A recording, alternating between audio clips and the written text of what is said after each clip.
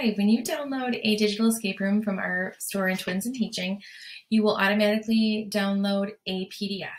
The PDF will take you to a um, Google form link that will take you to the actual escape room.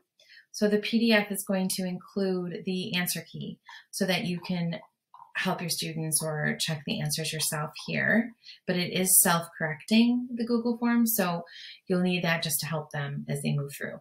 So on about the third page, second or third page, depending on the escape room, you're going to click Google form link and that will force you to make a copy. And when you get to the Google form, you're going to notice that you will see it in um, a teacher's view. Um, you may want to preview this ahead of time before you assign it to your students. So you can click on this preview button here, the eye. When you click on the eye, you'll notice that you can click on these links as a student would after they read the directions.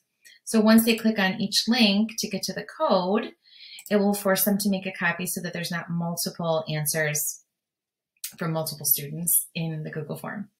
Um, so when they click on the clue, they'll move through the clues. And when they find the answer, they'll type those into the boxes here. And then ultimately, they're going to go back to the Google form and type in their answer. If they, let me get to the right one here. If they type in the wrong answer, you'll notice that they won't be able to move to the next breakout code. So that's how it's self-correcting. Um, and so they'll move through all of these until they complete them and then they'll submit that.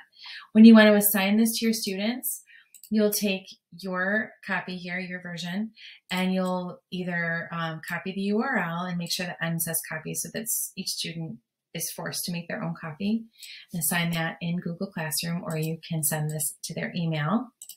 Um, and that is how you assign the digital escape rooms.